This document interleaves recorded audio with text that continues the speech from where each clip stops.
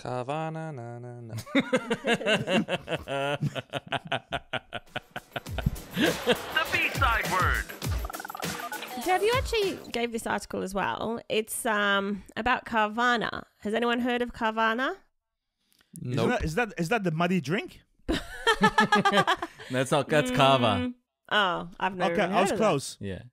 No, um, it's actually not. It's actually a few years old, but it's a online used car dealer, right? So if you need a car, instead of going to a car dealership and speaking to dodgy secondhand car salesmen, you buy your car You get- online, That's a bit of a And blanket then- statement. and then. Sorry, not all car salespeople are dodgy. Okay. Oh yes, they are. I'm just going with the stereotype. but you buy your car online and then of a dodgy of a dodgy IT guy.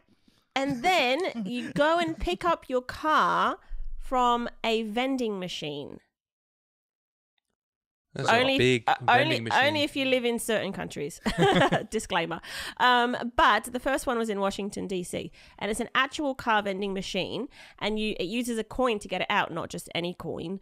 Um, you get given a specific big Carvana coin. You put it in, and it gives you your car. No, it's novelty. Like the novelty It's like is a huge. novelty. Like the coin is huge. oh, is it massive? Because it's in um. It's like because the vending machine's massive, the coin has to be massive, right? so you bring this coin over and you put it in, and Yeah. yeah, and so it's then- not just any dollar coin No, or no, no, whatever.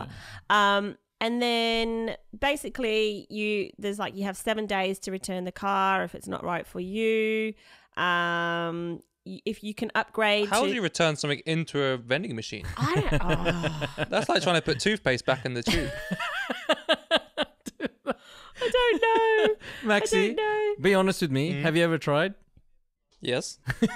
How did it go? No, not, no, well, but it sounds of it. Do you know why I tried as well? Why?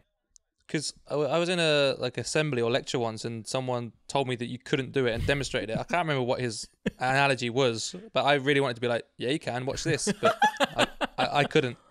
Anyway, carry on. Oh, Maxie, that's hilarious. And then, um, so I thought, well, I wonder if this is still about because it could be one of those sort of gimmick things. Mm. Well, it is about, and they're in a lot more places now, but not everywhere has the vending machine. So if they don't, if you live in a city without the vending machine, you just get it delivered to you.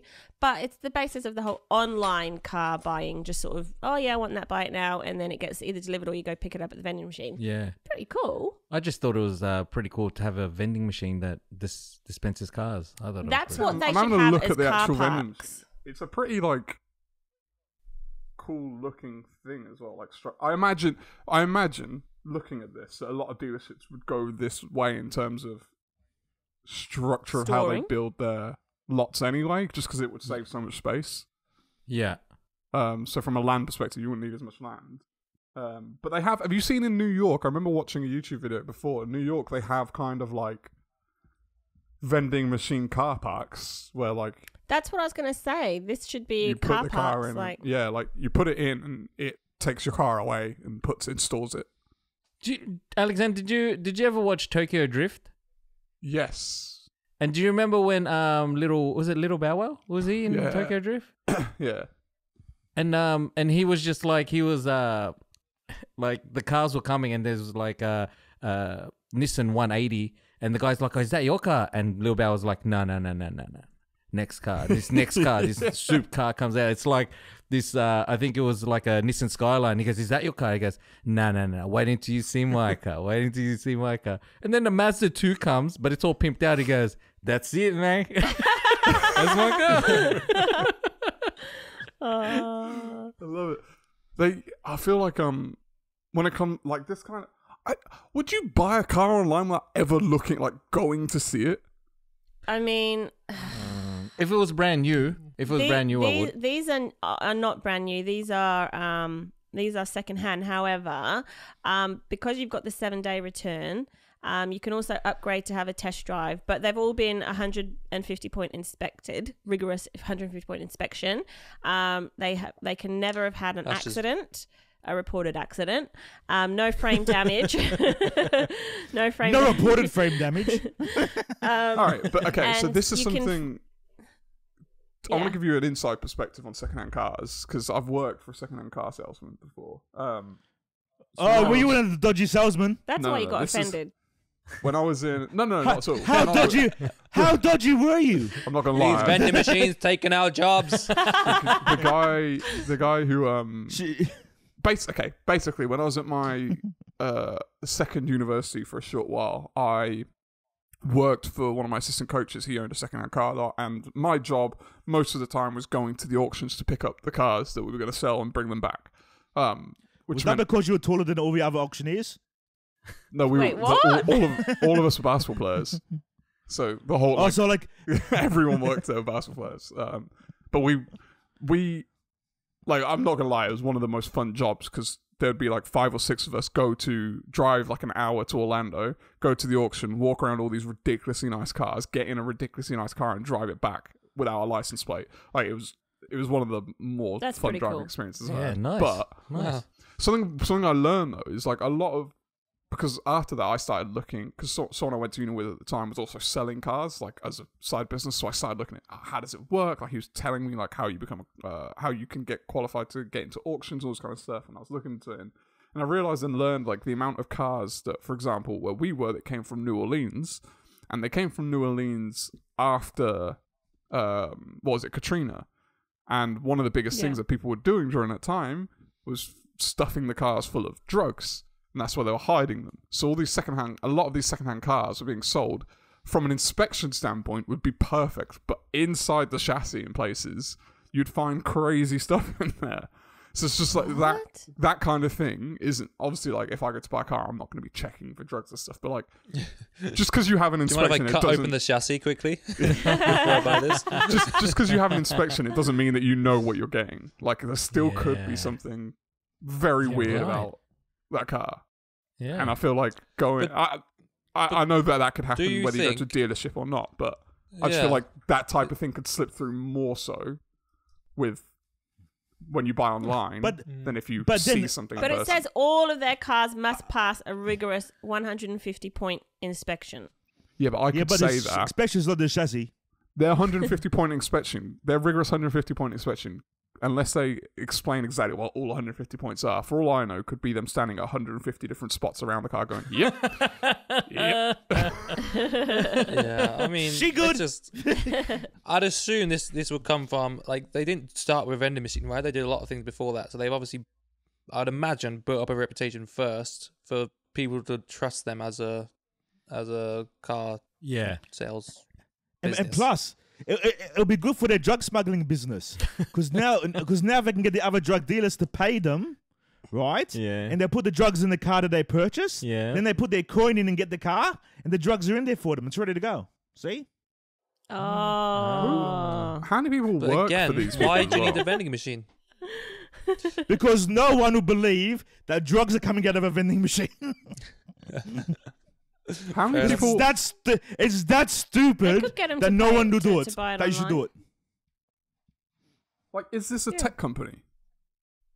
I'm Essentially. I don't know. Because I'm just thinking, like, uh, this is, is does anyone actually work at the vending machine? I'm, I'm guessing there's no human at the vending machine, which just means the only part of the company is running the online service and like servicing possibly. people. Uh, there has to be someone there, surely. Security That guard. weird. Maybe. Or it's is someone What you checking in? Well, you I'll just, be, chap over you, just be sat, you just be sat there, and then when someone walks through the door, you go, "Yeah, just put your coin over there."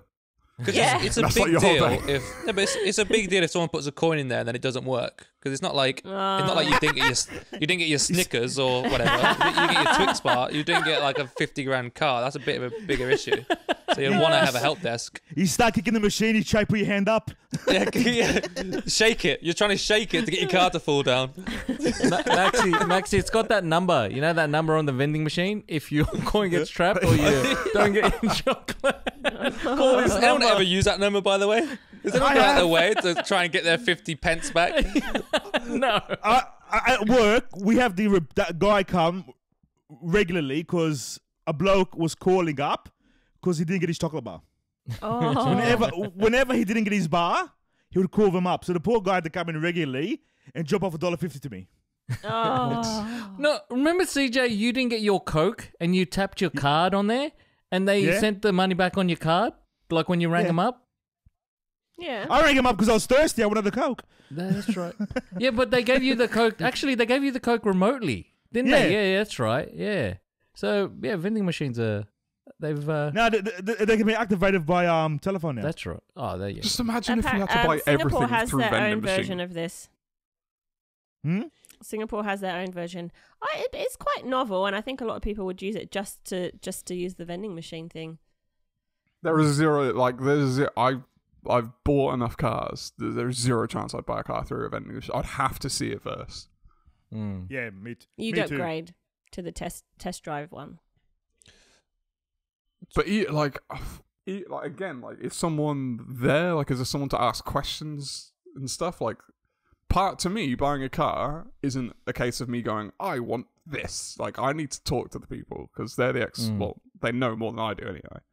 Um, Yeah. and I And know what I need. And try to get a try to get a try to get a deal from them as well.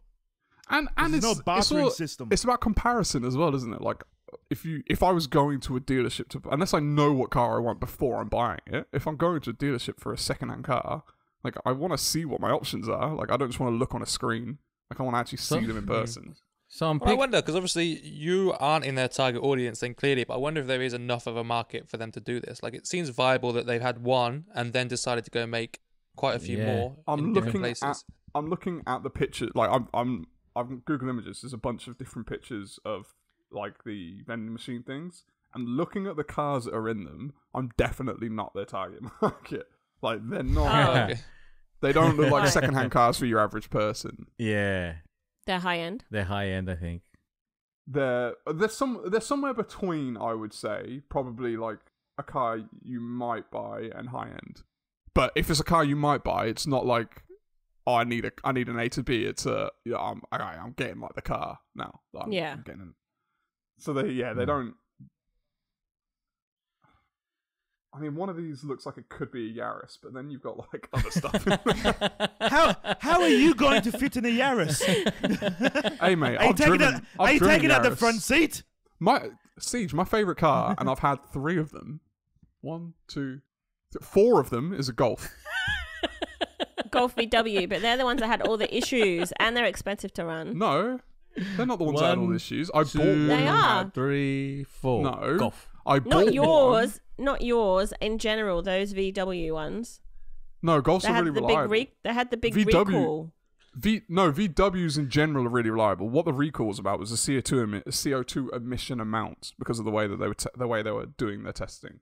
But it's not to do with the reliability of them. They're really reliable as cars. German. How many how many uh, golfs did you have? I've had four in three Oh, different that's a- countries. that's a boat. four four in three countries. That's a bogey. That's a bogey, Alex. That's a Did you double drive bogey. him? Did you did, did, did you drive him like this? Nah, one, one over par, them. Alex. I love them. Disappointed with that score. I had, and they've all been different colors. I've had a green, a black, a silver, and a blue. No red. Nah, I wouldn't get rid of that.